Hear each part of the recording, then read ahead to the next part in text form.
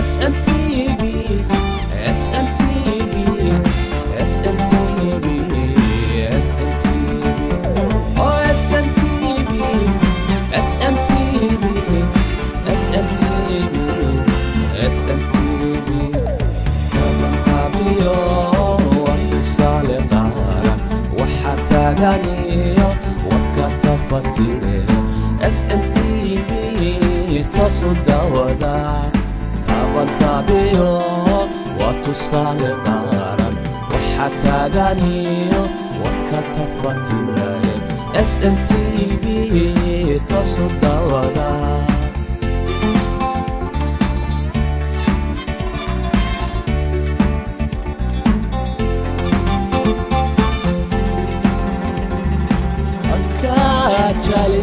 كندا كندا كندا. أتكاتها ليد كندا كندا كندا.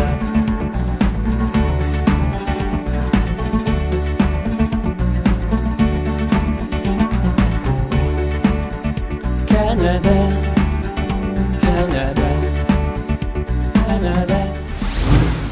بسم الله الرحمن الرحيم. السلام عليكم ورحمة الله تعالى وبركاته. لما داود يا شقيمها إيه قدرنت مدن له ميلو البجوكتان ku soo dhawaada barnaamijkii codka jaaliyadda canada oo goorahan oo kale aad uga barateen inuu idinkaga yimaado telefishinka qaranka soomaaliyeed qeybtiisa magaalada toronto ee dalka canada magacaygu waa muxidiin jaamac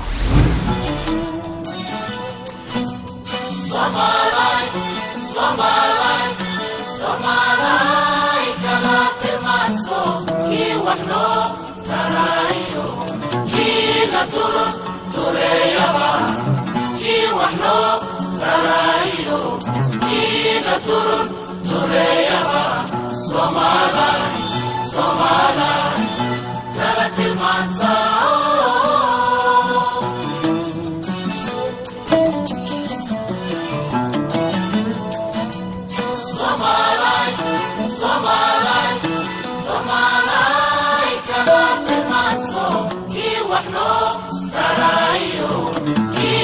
Turun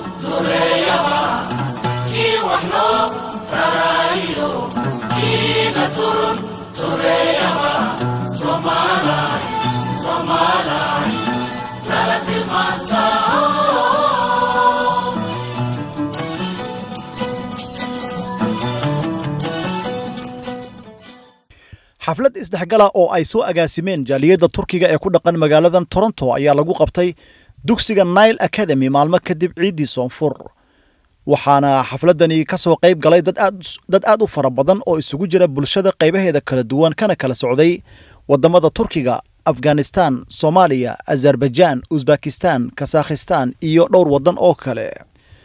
Martidii ka soo qayb gashay xafladdaasi waxaa ka mid ahaa qunsulka dowladda turkiga u fadhiya dalkan canada cali riza khani ku-xigeenka agaasimaha xiriirka dibadda ee dowladda turkiga muraad gartan iyo maamulka iyo macalimiinta dugsiga nile academy ee ka dhisan magaaladan toronto. Uh.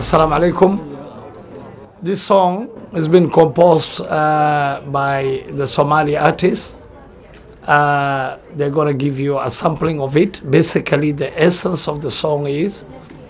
it's a thank you song, especially to the Turkish community and government for the help they extended to Somalia in a very rough patch during the drought and the starvation. So this is a song. Basically, the message is thank you very much. And one day, hopefully, in the near future, Somalia will get a chance to repay that favor back to Turkey tenfold. Thank you.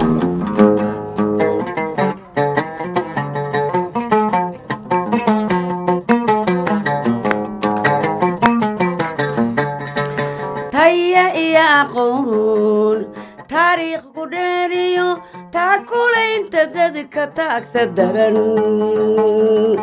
turkiga lagu yaqaan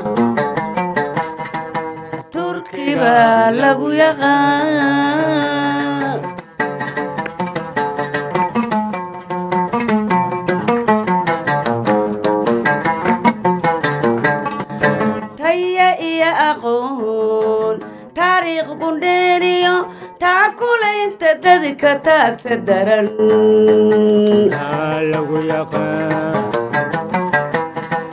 turkiga lagu yaqaan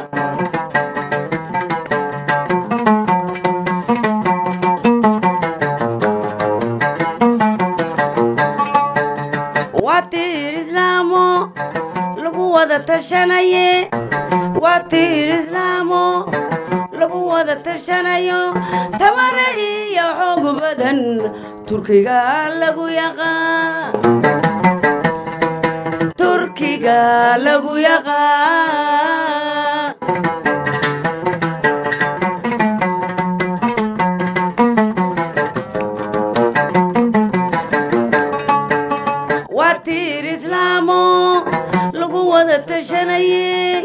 Waa tiir islaamo lagu wada tashanayo tabare iyo xoog badan turkiga lagu yaqaan.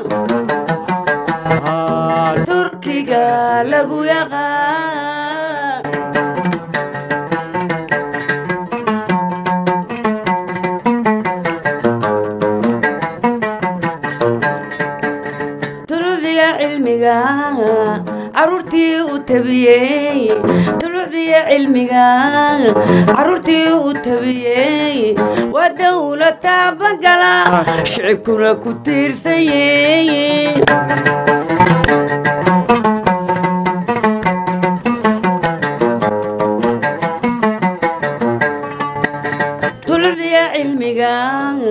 caruurtay u tabiyey tulucdiya cilmiga caruurtay u tabiyey waa dawla taabagala shicibkuna ku tiirsanyey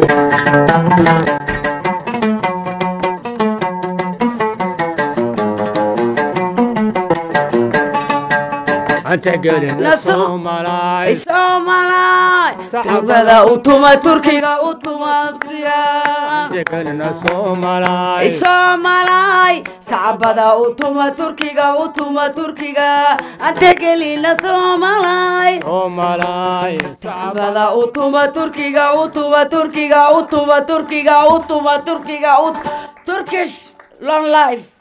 Ha noolaado I would like to welcome all of you on behalf of Canadian Turkish Friendship Community and Anatolian Heritage Federation. Today we have special guests among us. I would like to acknowledge them before we start our program. Our dear Consul General of Turkey, Mr. Ali Reza Güney, Deputy Director from Turk Turks Abroad and Related Communities Department of Turkey, Mr. Murat Gürbüz, Vice Consul of Kazakhstan, Vice Consul of Afghanistan, former Minister of Transportation of Somalia, former Minister of Public Works Somalia, Director of Civil Aviation of Somalia, members of uh, communities from Azerbaijan, Turkmenistan, Kazakhstan, Tatarstan, Afghanistan, Pakistan, Somalia, Kenya, Egypt, Guyana, Uzbekistan. We have religious leaders participating today. Um, also, Turkic, Turkish mosques, Anatolian Islamic Center, Fatih Mosque, and Pape Mosque leaders. Dear members of brotherly communities, Honorable Director of Turkish Citizens and Related Communities Living Abroad, Mr. Murat Gürbüz, officials of Nile Academy and Canadian Turkish Friendship Association, honorable guests, ladies and gentlemen, I would like to express my sincere appreciation to the organizers of this marvelous event. It's an honor for me to welcome you all at this festive day for all Muslims around the world. I have a few messages in my speech.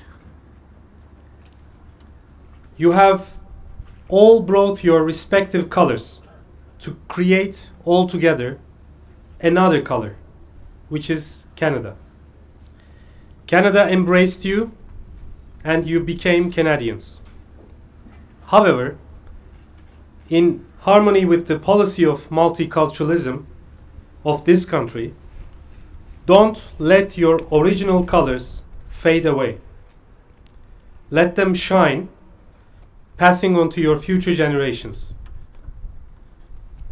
In addition to that, it's my strong feeling and belief that your bonds and relations that you established among yourselves have to be fostered for your own benefit. It's no secret that the more you enhance and multiply the areas of working together, the more you help increasing each other's prosperity. As we all know, each community has its own comparative advantage. The thing we should do is to bring them together to create a synergy and f- work for the common good of each and every community as well as for the Canada. With this occasion, I wish you all a happy Eid with your families and thank you for your patience. بسم الله الرحمن الرحيم كلنت wanaagsan daawadayaasha qiimaha iyo qadarinta mudan lahow mar kale kusoo dhawaada barnaamijka codka jaaliyadda Canada oo aad uga barateen goor walba inaad ka daawataan telefishinka qaranka Soomaaliyeed qaybtiisa magaalada Toronto ee dalka Canada. Magacaygu waa Muxiidiin Jaamac. Daawadayaal iyadoo ay laba maalmood hadda ay dhaaftay maalintii ciidul fitriga ayaa waxaa magaaladan Toronto lagu qabtay xaflad isdhexgala oo ay soo abaabuleen jaaliyadda walaalaha ay ee turkiga ee ku dhaqan magaaladan toronto iyo guud ahaan dalkan kanadaba oo ay ka soo qayb galeen madaxdooda qaar ka timid dalka turkiga iyo saraakiil ka socota safaaradooda haddaba jaaliyadda soomaaliyeed waxa ay runtii uga qayb galay dhowr qofood oo mas'uuliyiina waxaan rabaa in hal su'aal aad wadaagtaan dhammaantiinba. Dowladda turkiga runtii waxyaabaha ay u qabatay dalka soomaaliya markii la fiiriyo. Hadda waxaad arkaysaa waxqabadkeedii xataa in jaaliyadda soomaaliyeed ee ku dhaqan dalka dibaddiisa inuu soo gaaray. Maantay waxaad ka qayb gasheen xafladan siday u dhacday khudbooyinkii laga jeediyey runtii kalgacaylka laysku qaba runtii waad dareemi karaysaan. Bal idinku fikraddiinna saad u aragteen arrintan haddaad cabirtaan oo aan ku bilaabo siciid jaamac qorshada bismi illaahi raxmaan raxiim eh, marka hore halkan waxaan uga faaciisanayaa ciiddii ciid alfitra waxaan leeyahay dhammaan ummadda soomaaliyeed iyo ummadda islaamka meela joogaan iyo qoyskeega kulli waxaan leeyahay ciid wanaagsan. Mar labaad maanta runtii annaga waxay noo tahay eh, farxad bay noo tahay. Howlaha halkan aan maanta aan la kulanay oo qolada turkigu ay maaragtay ay iskuul hadda runaantii halkan ay ka furayaan oo dhaqankii maaragtay islaamiga ahaa ku salaysan oo ay rabaan inay dadka ay ugu maaragtay xiriir fiican kula yeeshaan. Runtiina ay baraan dhaqamada islaamka. Waa wax lagu farxo weeyaan. Soomaali ahaanna waa nagu cusubeen anigu martaba inkasta aanu ku nahay. Haddana aad baan arrintaa u soo dhoweynay. Nile academy annaga halkaa soomaaliya markaan joognay nile foundation aad bay arrinta noogu weyneyd waayo waxay ahayd dugsigii sare banaadir secondary school iyo bolotechnicaba waa qoladii qaadatay ahayd oo marka dambena soomaalida ilaa dhowr kun oo arday loo qaaday turkiya.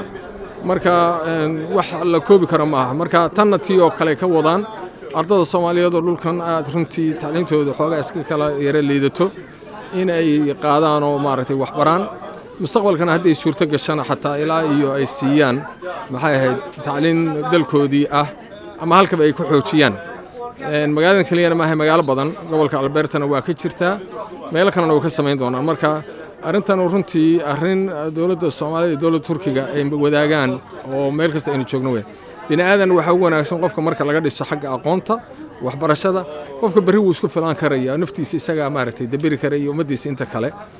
Waana waxay keentay ilaa ku dhowaad shan kun oo arday ah in turkiya loo qaado. Shantan kun maalintay soo noqoto soomaaliya waa meelo badan way iskaga filaan doontaa haddii dibadda intii joogtayna ay gacan nagu siiyaan waa wax weyn weeye hadda ragga maaragtay halkan joogay safaaradda iyo ragga cultureka jooga iyo ragga iskuulka maamulayaba aad waxay noogu soo dhoweeyeen inay soomaalida ay rabaan gacan buuxda inay siiyaan. Waxay noo sheegeen xataa inay arday badan oo soomaaliyeed xabsiyada ku jiraan oo ay tahay inay wax la qabtaan oo ah inaan la ilaawin oo runtii ay maaragtay soomaali communitiga arrimahaas ay rabaan inay wax kala qabtaan. Marka waxaad moodaa dee dalba ilaahay baa qolo u soo diree. In turkiga ilaahay inoo soo diray oo maaragtay wakhtigii adkaa inuu soo maray runtii soomaaliya la ilaaway inay iyagu ay adduunka tuseen in maxay ahayd soomaaliya ay dib loo soo eego. Qofka markuu yimaado masayr badan baa dadka kala gelaya. Marka waa jiraan dowlado badanoo iyagii ku dayday ama iyagu waxay qabanayaan wax la mida runtii raadinaya.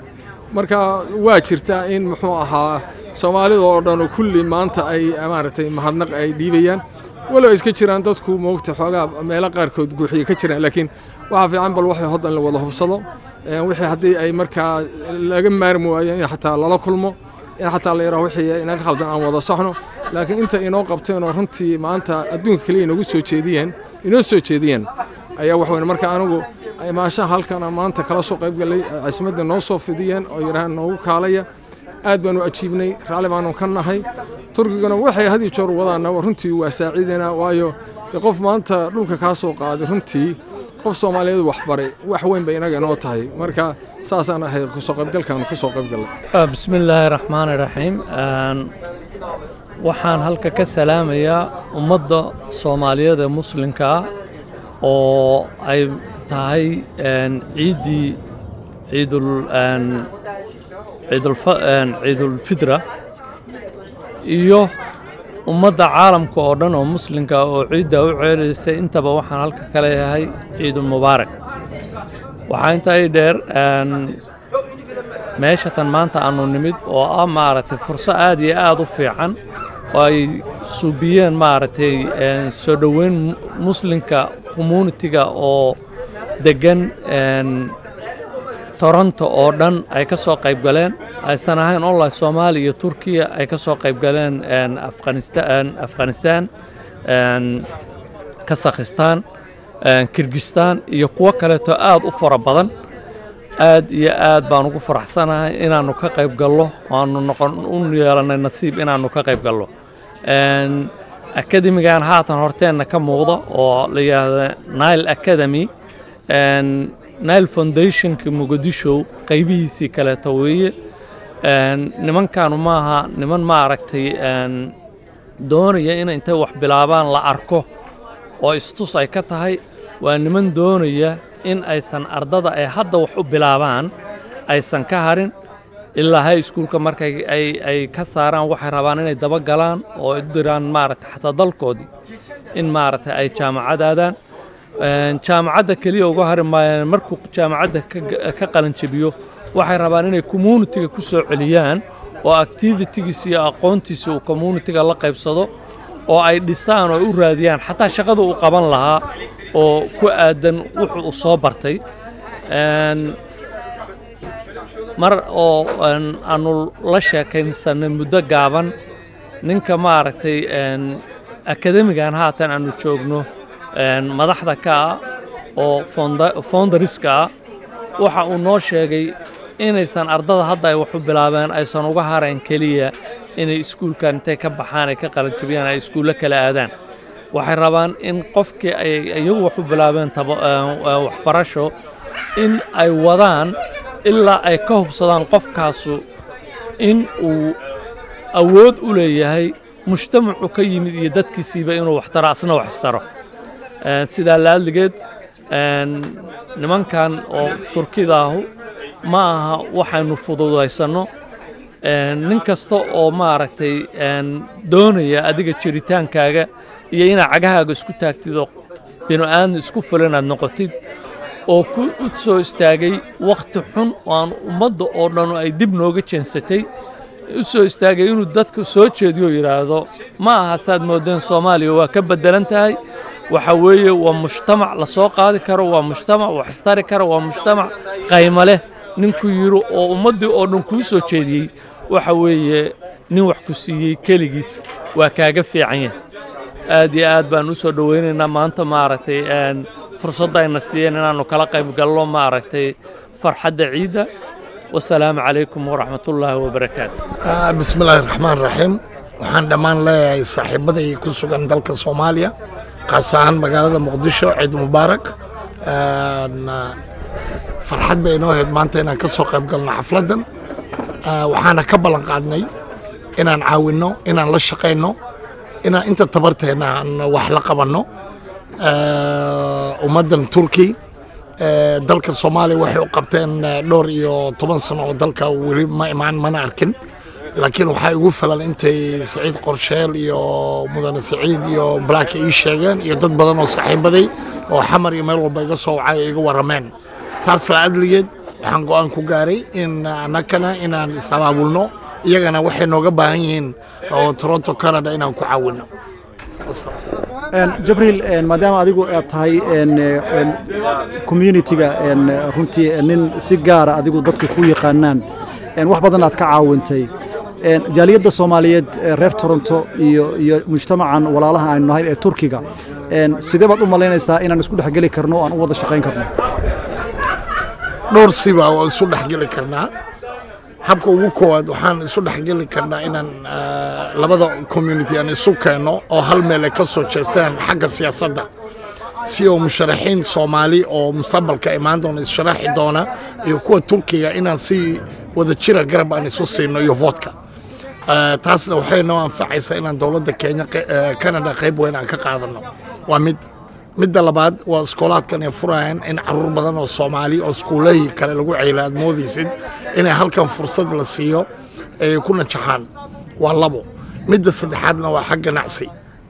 Eh, alaab badan bay turki canada u soo dirtaa oo dhowr boqol oo milyan oo doolara inaan fursad siino bacmushariinta soomaali ku nool canada inay alaabtaas favorable terms in lagu siiyo si iyagana cadaanka iyo tuulooyinka oo dhan ay canada ay degan yihiin u sii gudbiyaan. Marka saddexdaas siyaabo baa lo- loogu wada shaqayn karaa. Saciid runtii dhanka fanka haddaan u soo halkan waxaa runtii hees lagu mahadcelinayo turkiga ka jeediyey faaduma nagruma faaduma cali nagruma oo runtii turkiga si gaar u ammaantay cumar bongo. Sidaa ka warqabta dhammaan fanaaniinta soomaaliyeed gaar ahaan axmed naaji oo aad garanaysaan dhowr mar u sameeyey. Fanaaniintu ma is leedahay ayagu way ka soo baxeen kaalintoodii saciid. Runtii waa waan qabaa in ay waddadii ku taagan yihiin. Ay maaragtay dadka in la baraarujiyo dadka in wax loo sheego dadkeena soomaalida sida wax layskugu tabiyo had iyo joor waxaa ka mid a xagga maxay ahayd iyo suugaanta markii mujtamacu qof maaragtay ah, ee, ee, uu la hadlo siyaasiya marka qaarkood dadku siyaalo badan bay wax u eegaan.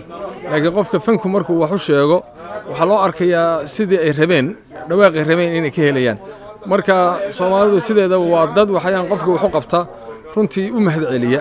Si- marka haddaa aragtid ilaa miidiya inay arrintu ay gasho ay ka mahadcelinayaanna waa wax dadkii taabtay weeyaan. Qofka waa qofka dareenkiisii wuu ka turjumayaa marka fanaaniintu dareenkii soomaalida ahaa ayay ka turjumayaan. Marka waxaan qabaa waddadii sax ay ku taagan yihiin inta hadda ka hadashay iyo inta heesa ka samaysay iyo inta maxay ahayd jor ka samaynaya gabayo maaragtay iyo guuro iyo wax walba ha noqoto. Xataa wixii fiican in loo soo bandhigo sida hadda waxqabadka ay qabanayaan.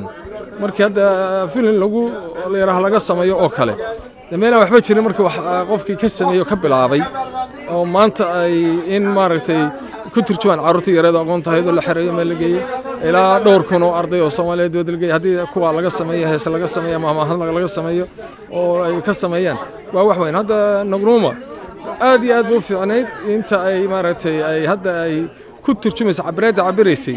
Dadkii xataa aan soomaalida ahayn oo ajnabiga ahay oo kala duwanaa markii ay dhammaysay waa loo soo wada istaagay. Kulli waa loo hambaliyeeyey waayo qofka bani aadamku qofkii wax kuu qabta haddaad tiraahdo waa mahadsan tahay. Dee waa qof jiraa tahay oo bani aadan laakiin qof iska aamusayo oo wixii la siiyo oon la aamusayo la fadhiisanaya meel waa wax laga fiicanya marka anu aad iyo aad baan had iyo jecel jecelahay in fanaaniintu cabiraadda ay ku wadaan. Inaguna aynu aragno wax wanaagsan inay tahay.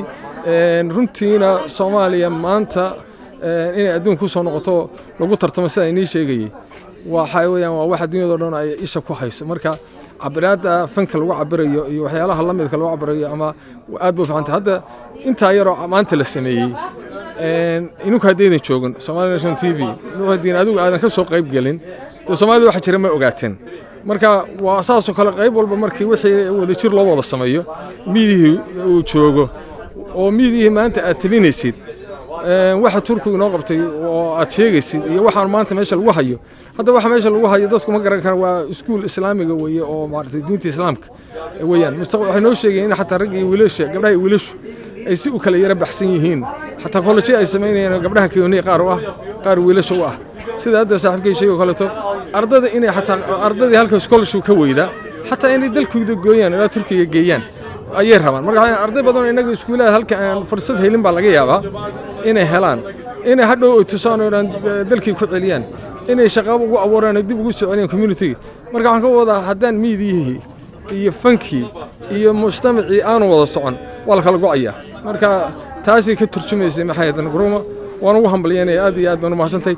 Waana iskeed maaha wax loo diray iyadaa la timi iyadaa meesha ka caddaysay iyadaa tiri waxaan rabaa hees aan ugu soo talagalay xafladdan oo marka laga sheegay inay jirto. Ayaan rabaa inaan meesha aan ka jeediyo. Runtiina qeyrayna gelisay anagu laftiga aad iyo aad baa maaragtay noo qeyro gelisay oo wax fiican bay ahayd. Marka waxaan leeyahay waad mahadsantahay. Ilaah baana ajarka maaragtay runtii xasanaad kaa siin doono wixii aad ummadda soomaaliyeed. Ilaa iyo maalinta aad bilowday ilaa maanta aad u haysay. Nimankan aynu haatan kala qayb gallay maaragtay xafladda tan oo ciidda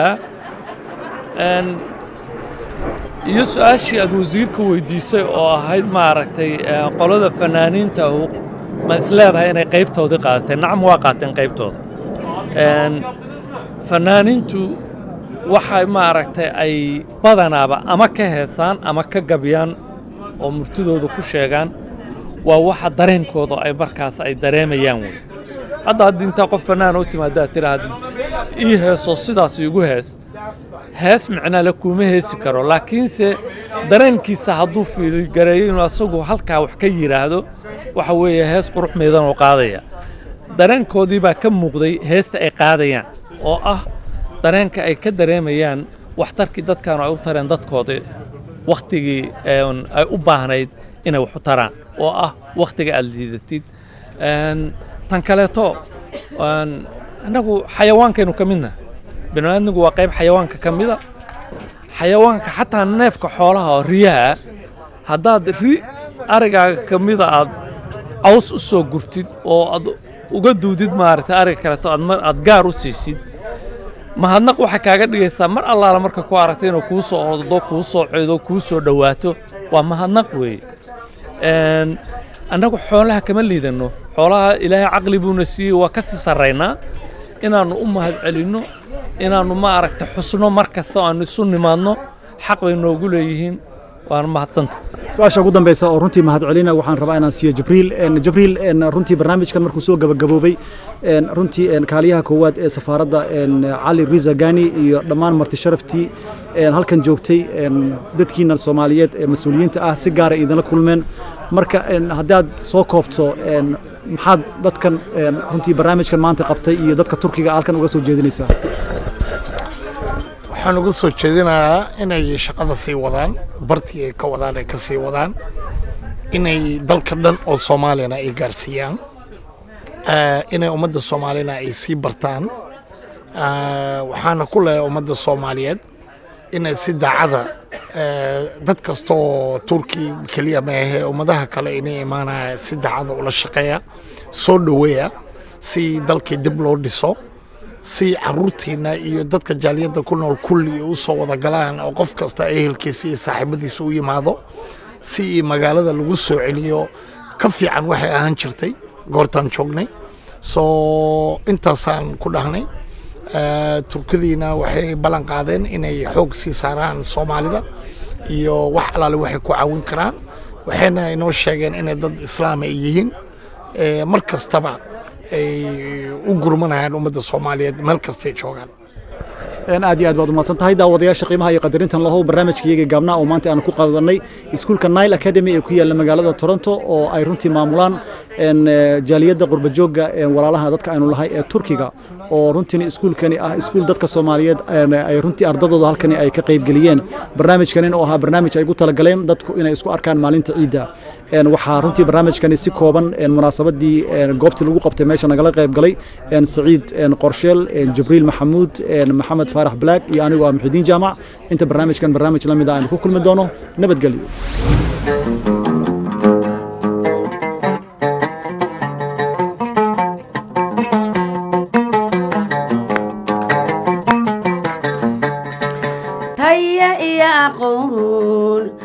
taariikh ku dheeriyo taakulaynta dadka taagta daran turkiga lagu yaqaan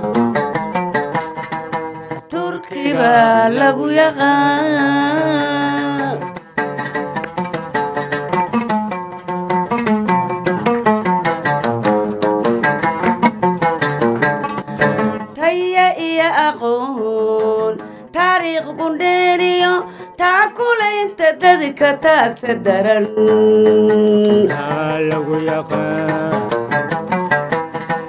turkiga lagu yaqaan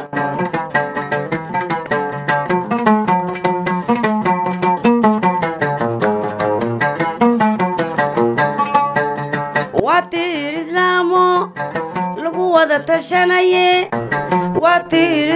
islaamo lagu wada tashanayo tabare iyo xoog badan turkiga lagu yaqaan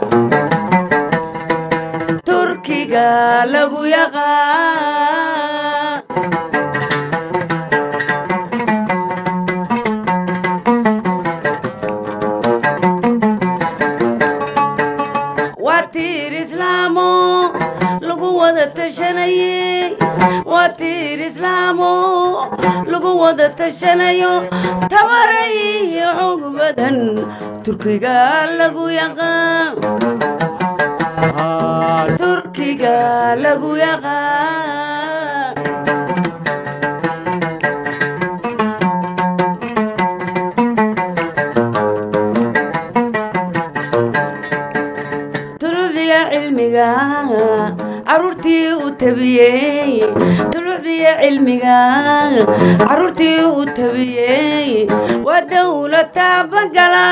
shicibkuna ku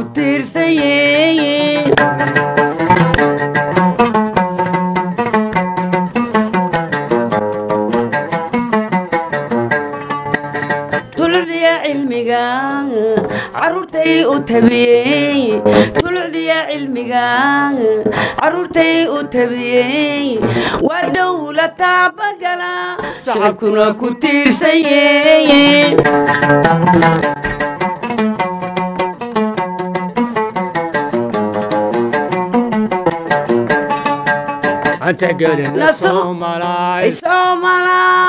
turbada u tuma turkiga u tuma turkiga anta gelina Soomaalaay Soomaalaay sacbada u tuma turkiga u tuma turkiga anta gelina Soomaalaay Soomaalaay sacbada u tuma turkiga u tuma turkiga u tuma turkiga u tuma turkiga Turkish long life. Ha noolaado Somalight, Somalight, Somalight, kalatimaso kiwano tarayo, kina turu tureyaba, kiwano tarayo, kina turu tureyaba, Somalight.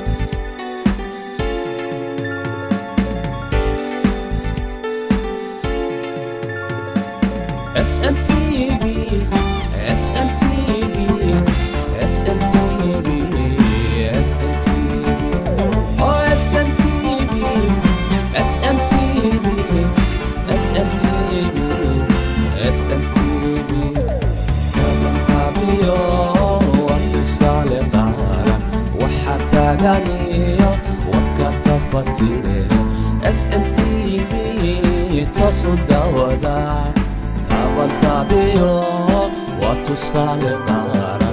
وحتى دانيو وكتفتي راي SMTV تصدودا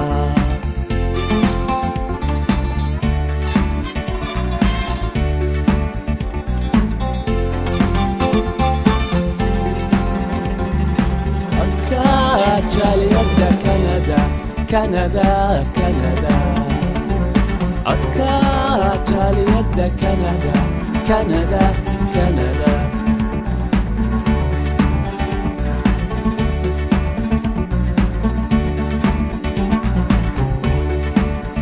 كندا